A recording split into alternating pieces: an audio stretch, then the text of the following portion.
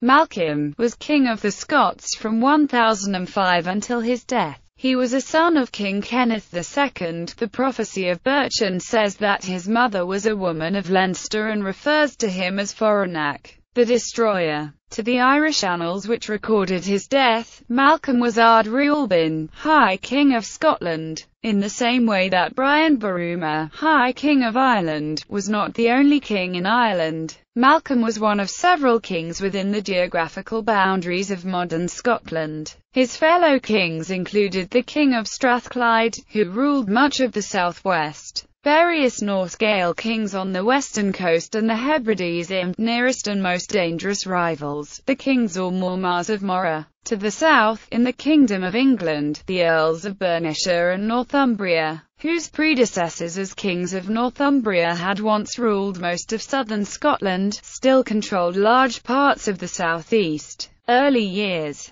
Malcolm II was born to Kenneth II of Scotland. He was grandson of Malcolm I of Scotland. In 997, the killer of Constantine is credited as being Kenneth, son of Malcolm. Since there is no known and relevant Kenneth alive at that time, it is considered an error for either Kenneth III, who succeeded Constantine, or, possibly, Malcolm himself, the son of Kenneth II. Whether Malcolm killed Constantine or not, there is no doubt that in 1005 he killed Constantine's successor Kenneth III in battle at Monzievaird in Strathearn. John of Fordun writes that Malcolm defeated a Norwegian army in almost the first days after his coronation, but this is not reported elsewhere. Fordun says that the bishopric of Mortlach was founded in thanks for this victory over the Norwegians. Children Malcolm demonstrated a rare ability to survive among early Scottish kings by reigning for 29 years. He was a clever and ambitious man. Brehon tradition provided that the successor to Malcolm was to be selected by him from among the descendants of King Aedh, with the consent of Malcolm's ministers and of the church, ostensibly in an attempt to end the devastating feuds in the north of Scotland, but obviously influenced by the Norman feudal model. Malcolm ignored tradition and determined to retain the succession within his own line. But since Malcolm had no son of his own, he undertook to negotiate a series of dynastic marriages of his three daughters to men who might otherwise be his rivals, while securing the loyalty of the principal chiefs, their relatives.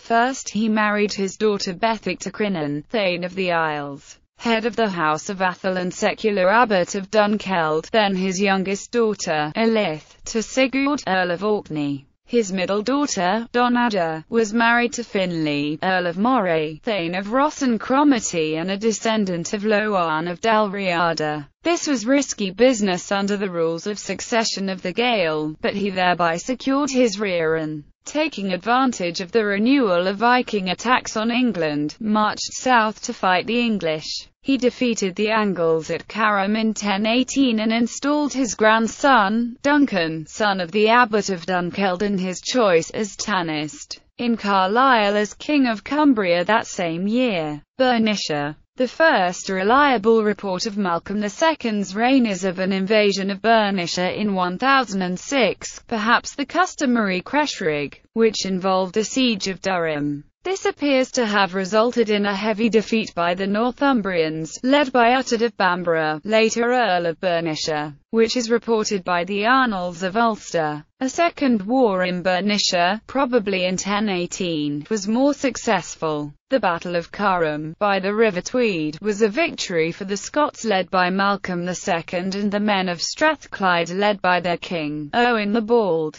By this time Earl Uchtred may have been dead, and Eric Conason was appointed Earl of Northumbria by his brother-in-law Cnut the Great. Although his authority seems to have been limited to the south, the former kingdom of Deira, and he took no action against the Scots so far as is known. The work De obsessione Dunelmi claims that Uchtred's brother Eadwulf Cuda surrendered Lothian to Malcolm II, presumably in the aftermath of the defeat at Carham. This is likely to have been the lands between Dunbar and the Tweed as other parts of Lothian had been under Scots control before this time. It has been suggested that Cnut received tribute from the Scots for Lothian, but as he had likely received none from the Bernician earls this is not very probable. Cnut CNUT reports the Anglo-Saxon Chronicle led an army into Scotland on his return from pilgrimage to Rome. The Chronicle dates this to 1031, but there are reasons to suppose that it should be dated to 1027. Burgundian chronicler Rodulfus Glaber recounts the expedition soon afterwards, describing Malcolm as powerful in resources and arms, very Christian in faith and deed. Ralph claims that peace was made between Malcolm and Cnut through the intervention of Richard,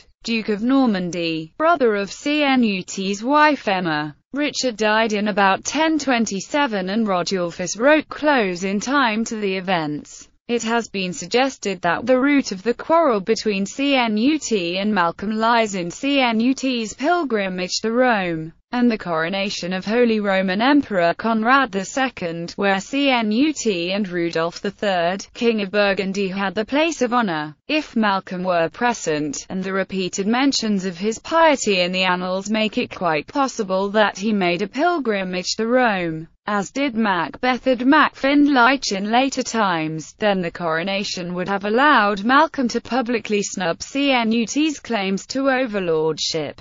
Cnut obtained rather less than previous English kings, a promise of peace and friendship rather than the promise of aid on land and sea that Edgar and others had obtained. The sources say that Malcolm was accompanied by one or two other kings, certainly Macbethad, and perhaps Ecgmar Cach Mac Ragnail, king of Man and the Isles, and of Galloway. The Anglo-Saxon Chronicle remarks of the submission, but he, Malcolm, adhered to that for only a little while. Cnut was soon occupied in Norway against Olaf Haraldsson and appears to have had no further involvement with Scotland. Orkney and Moray. Elitheth, daughter of Malcolm, married Sigurd Hlodvisson, Earl of Orkney. Their son Thorfinn Sigurdsson was said to be five years old when Sigurd was killed on 23 April 1014 in the Battle of Clontarf. The Orkneyinga saga says that Thorfinn was raised at Malcolm's court and was given the Mormaerdom of Caithness by his grandfather. Thorfinn, says the Heimskringla, was the ally of the King of Scots,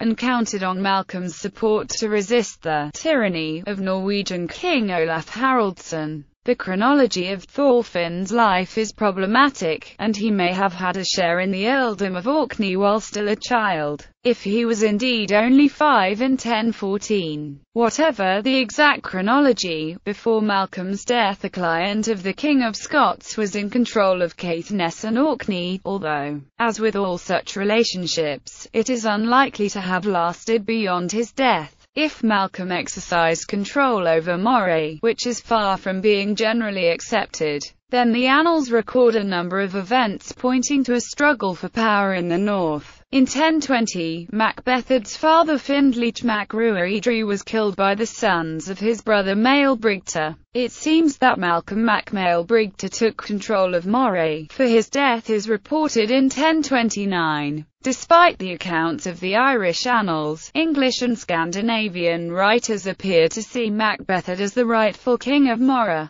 This is clear from their descriptions of the meeting with Cnut in 1027, before the death of Malcolm MacMail Maelbrigtai. Malcolm was followed as king or earl by his brother Gilacomgan, husband of Gruach, a granddaughter of King Kenneth III. It has been supposed that Macbethad was responsible for the killing of Giles Coimgane in 1032. But if Macbethad had had a cause for feud in the killing of his father in 1020, Malcolm too had reason to see Giles Coimgane dead. Not only had Gilacomgan's ancestors killed many of Malcolm's kin, but Gilacomgan and his son Lulach might be rivals for the throne. Malcolm had no living sons, and the threat to his plans for the succession was obvious. As a result, the following year Gruach's brother or nephew, who might have eventually become king, was killed by Malcolm. Strathclyde and the succession It has traditionally been supposed that King Owen the Bald of Strathclyde died at the Battle of Carham and that the kingdom passed into the hands of the Scots afterwards. This rests on some very weak evidence.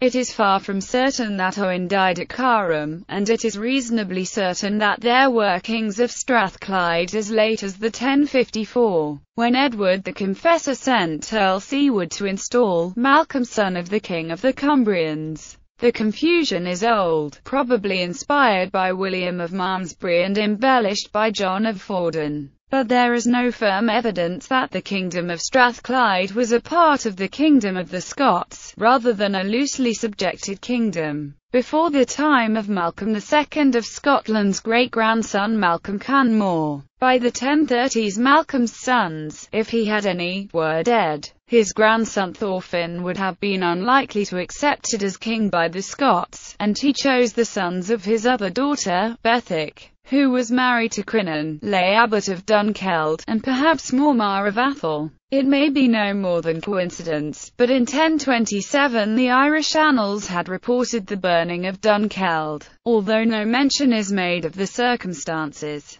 Malcolm's chosen heir, and the first tánaise ríg certainly known in Scotland, was Duncan. It is possible that a third daughter of Malcolm married Findleach mac Ruaidhri and that Macbethad was thus his grandson, but this rests on relatively weak evidence. Death and posterity Malcolm died in 1034, Marianus Scotus giving the date as the 25th of November 1034. The king lists say that he died at Glamis, variously describing him as a most glorious, or most victorious, king. The Annals of Tigernach report that Malcolm mac Cineada, King of Scotland, the honour of all the west of Europe, died, the prophecy of Berchan. Perhaps the inspiration for John of Fordun and Andrew of Wintoun's accounts, where Malcolm is killed fighting bandits, says that he died by violence. Fighting, the parricides, suggested to be the sons of Maelbrigta of Moray.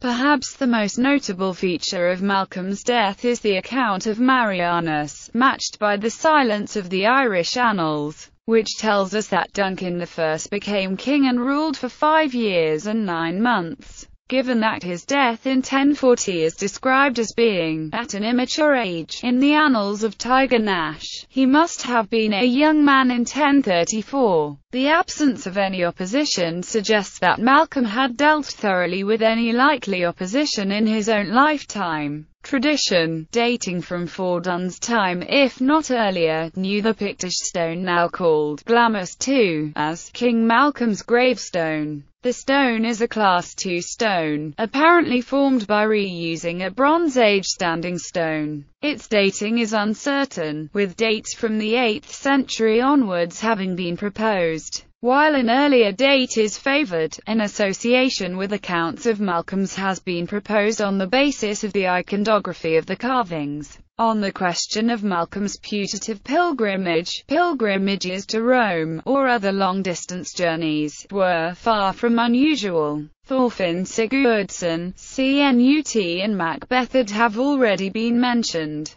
Rognvald Kali Kolsson is known to have gone crusading in the Mediterranean in the 12th century. Nearer in time, Dyfnwal of Strathclyde died on pilgrimage to Rome in 975 as did Maelruinad Ua Maeladoraid, king of the Ceni Acutel Conail, in 1025. Not a great deal is known of Malcolm's activities beyond the wars and killings. The Book of Deer records that Malcolm gave a king's use in Biffy and in Pet Gobraig, and two davochs, to the monastery of Old Deer. He was also probably not the founder of the bishopric of Mortlach, Aberdeen. John of Fordun has a peculiar tale to tell, related to the supposed laws of Malcolm MacKenneth, saying that Malcolm gave away all of Scotland, except for the Moot Hill at Scone, which is unlikely to have any basis in fact.